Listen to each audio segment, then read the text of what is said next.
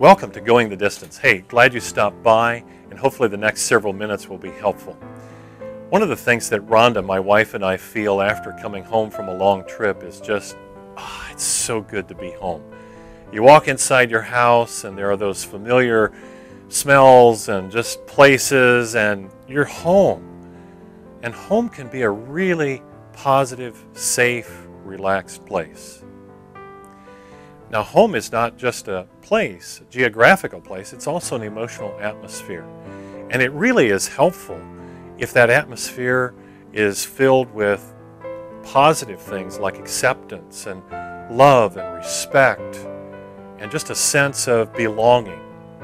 And that's what we really try to do here at Marriage Resource Center is help couples to establish the kind of home atmosphere that makes it feel, ah, oh, it's so good to be home. So check out our website, mrcmv.org, and let's do this. Let's do it together. Let's go the distance together.